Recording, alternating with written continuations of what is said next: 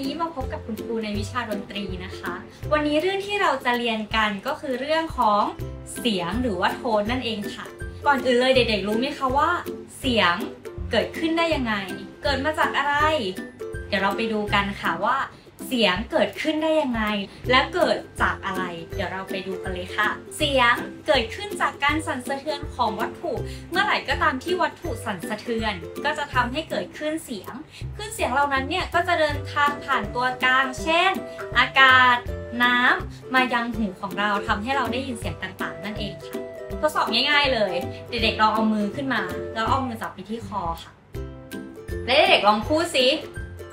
อะคอเด็กๆสั่นไหมคะคอเด็กๆสั่นใช่ไหม เมื่อไหร่ก็ตามที่เราพูด คอจะสั่นนั่นก็คือการสั่นสะเทือนของหลอดเสียงของเรานั่นเอง อันนี้ก็คือเสียงเกิดขึ้นจากการสั่นสะเทือนของวัตถุที่ดูได้ง่ายและใกล้ตัวเรามากที่สุดเลยนะคะ ทีนี้เรารู้แล้วว่า เสียงเกิดขึ้นจากการสั่นสะเทือนของวัตถุ ทีนี้เรามาดูต่อสิว่าเสียงบนโลกของเราถูกแบ่งออกเป็นกี่ประเภทใหญ่ ๆ เสียงบนโลกของเรานะคะถูกแบ่งออกเป็น 2 ประเภทใหญ่ ๆ คือ 1. เสียงที่เกิดขึ้นเองตามธรรมชาติ และ 2. เสียงที่มนุษย์สร้างขึ้น เสียงที่เกิดขึ้นเองตามธรรมชาติ ได้แก่ เสียงของอะไรบ้าง ได้แก่เสียงอะไรบ้างคะ ได้แก่เสียงน้ำลม เสียงพายุ เสียงฝนตก เสียงฟ้าผ่า เสียงฟ้าร้อง เสียงนกร้อง เสียงสุนัขเห่า เสียงแมวร้อง เสียงอะไรอีก ทุกอย่างเลยที่อยู่รอบตัวเราที่ไม่ได้เกิดขึ้นโดยการกระทำของมนุษย์ล้วนเป็นเสียงที่เกิดขึ้นเองตามธรรมชาติทั้งสิ้นเลยค่ะ ทีนี้เรามาดูเสียงที่มนุษย์สร้างขึ้นบ้าง เสียงที่มนุษย์สร้างขึ้นคือ เสียงที่เกิดจากการกระทำของมนุษย์ เช่น เสียงรถ เสียงแอร์ เสียงรถไฟ เสียงเคาะโต๊ะ เสียงเล่นเปียโน เสียงดีดกีตาร์ใช่ไหม ทุกอย่างล้วนเกิดขึ้นจากการกระทำของมนุษย์ทั้งสิ้นเลยค่ะเด็กถ้าเราไม่เล่นเปียโน คุณครูไม่เล่นเปียโน เปียโนดังได้ไหม ไม่ได้ ถ้าคุณครูไม่ดีดกีตาร์กีตาร์ดังได้ไหม ไม่ได้ ถ้าเราไม่เปิดแอร์แอร์ดังไหมคะแอร์ก็ไม่ดังใช่ไหมลูก ทีนี้จำไว้เลยนะว่าเสียงที่มนุษย์สร้างขึ้นเนี่ยล้วนมาจากการกระทำของมนุษย์ ทั้งสิ้นเลย อันนี้จำให้ได้นะ เสียงมี 2 ประเภทนะคะ เราไปต่อกันเลย เสียงสูงเสียงต่ำเสียงสูงคืออะไร เสียงต่ำคืออะไร เสียงสูงสูง เช่น เสียงของหนู เสียงของแมว และเสียงต่ำๆล่ะ เช่น เสียงของหมีใช่ไหมคะ เขาจะมีลักษณะเสียงต่ำแต่ทีเนี้ยเด็กๆรู้ไหมว่า ทั้งสองเสียงนี้เกิดขึ้น จากอะไร ทั้งสองเสียงนี้เกิดขึ้นจากหลักการเดิมของการเกิดเสียงเลยค่ะ คือเกิดจากการสั่นสะเทือนของวัตถุ แต่เป็นการสั่นสะเทือนของวัตถุที่แตกต่างกัน เสียงสูง เสียงสูงจะเกิดจากการสั่นสะเทือนของวัตถุ ที่สั่นจำนวนหลาย ๆ ครั้งใน 1 วินาที สั่นจำนวนหลาย ๆ ครั้งใน 1 วินาทีนะลูก อ้าวคุณครูทำไมถึงต้องมีเรื่องเวลาเข้ามาเกี่ยวข้อง ใช่ค่ะ เสียงเดินทางผ่านอากาศนั้นมีเวลามากำหนดด้วยนะ ถ้าสมมติเสียงสั่นหลาย ๆ ครั้งเลยในหนึ่งวินาที จะทำให้เสียงนั้น สูง แต่ถ้าเสียงต่ำล่ะในทางตรงกันข้ามกันเลยค่ะลูก เสียงสูงทำไมเขาสั่นมาก เสียงต่ำก็คือสั่นน้อยครั้งในหนึ่งวินาทีก็จะทำให้เกิดเสียงที่ต่ำยกตัวอย่างเสียงสูงสูงสิสวัสดีเสียงสูงใช่ไหม แล้วเด็กๆลองทำเสียงต่ำสิคะทำได้ไหม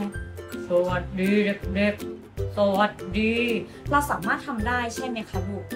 อะทีนี้เด็กๆพอเข้าใจไหมคะ เสียงสูงสั่นมาก เสียงต่ำสั่นน้อยครั้ง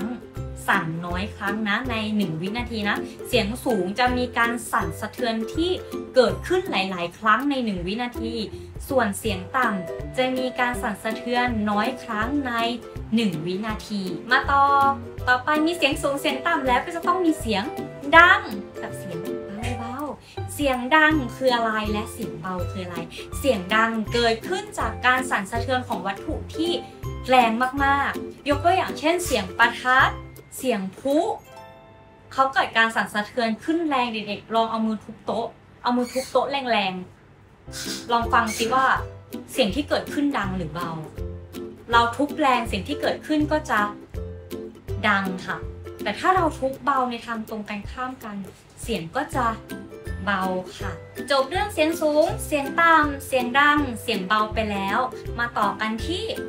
สีสันของเสียงหรือ tone colorสีสันของเสียงคืออะไรสำคัญกับดนตรียังไงคะคุณครูสีสันของเสียงก็คือเสียงที่เกิดจากแหล่งกำเนิดเสียง แต่ละประเภทที่แตกต่างกัน แต่ละประเภทที่แตกต่างกันนะลูก เช่น เสียงเปียโน เสียงกีตาร์เสียงคีย์บอร์ด เสียงร้อง เสียงกิ่ง เสียงลม กิดจากแหล่งกำเนิดเสียงที่ทำไมแตกต่างกัน อันนี้คือโทนคัลเลอร์นะคะเด็กๆ ต่อไปสุดท้ายและ คือโทนคุณภาพหรือคุณภาพของเสียง คุณภาพของเสียงคืออะไรคะ คุณภาพของเสียงคือ เสียงดีมาก เสียงดีน้อย เพราะมาก เพราะน้อย เสียงดีมากเสียงดีน้อยใช้เกณฑ์อะไรตัดสินล่ะคะคุณครูในเรื่องนี้นะคะ เรื่องคุณภาพของเสียง ไม่มีเกณฑ์ในการตัดสินเลยค่ะเด็กๆขึ้นอยู่กับรสนิยมส่วนบุคคลเท่านั้น บางคนอาจจะฟังเสียงนี้แล้วเพาะบางคนอาจจะฟังเสียงนี้แล้วไม่เพราะก็ได้ แล้วแต่เลยว่าใครจะรู้สึกยังไง ไม่มีเกณฑ์ในการตัดสินที่ตายตัว โอเคนะ วันนี้เรามาทวนกันอีกรอบหนึ่งค่ะ เรามาสรุปกันอีกรอบหนึ่งคุณครูสรุปให้อีกครั้งหนึ่งนะ วันนี้เรื่องที่เราเรียนไปคือเรื่องของเสียงใช่ไหมคะเด็กๆ เสียงเกิดขึ้นจากการสั่นสะเทือนของวัตถุและเสียงก็ถูกแบ่งออกเป็น 2 ประเภทใหญ่ๆ คือ เสียงที่เกิดขึ้นเองตามธรรมชาติ และเสียงที่มนุษย์สร้างขึ้น มีเสียงดัง เสียงเบา เสียงสูง เสียงต่ำคุณภาพเสียงแล้วก็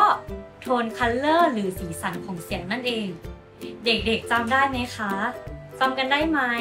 ถ้าเด็กๆจำไม่ได้ไม่เป็นไร เด็กๆสามารถดูวนซ้ำๆหลายๆรอบได้เลยนะคะสำหรับวันนี้ก็หมดเวลาของคุณครูแล้วค่ะ แล้วพบกันใหม่ในคลิปหน้านะคะ บ๊ายบาย